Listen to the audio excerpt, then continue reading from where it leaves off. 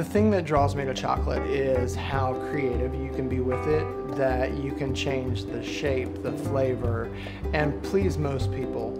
Um, not everyone likes chocolate, but I would say you walk down the street and almost everybody responds to, oh yeah, I like chocolate.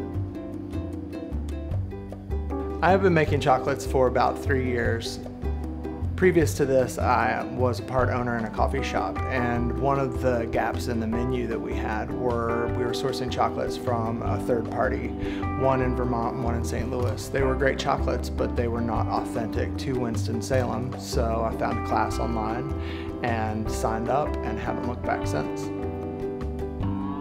I absolutely think it's important to use local ingredients. It provides a connection with other people. It adds a layer of quality that that people may not understand immediately, but you're going to taste the difference. There's a vested interest in every layer of creating the chocolate. So my chocolates are unique because I have the ability to experiment.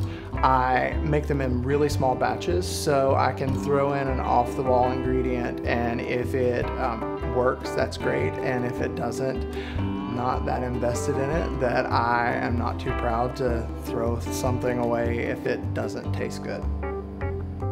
The chocolate that I submitted for the Made in NC Awards are um, a culmination of three different items that are all local to North Carolina. The honey is uh, collected in urban hives from Winston-Salem. Uh, that's done by Fool's Gold Honey.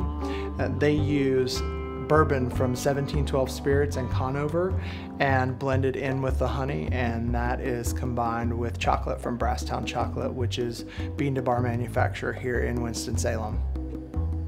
This award for my business, I'm not even sure what direction it's going to take. This up until now has been a part-time job and it's a passion project and I want it to continue to grow and, and deepen more than anything. I want it to mean something to me and the people that I meet.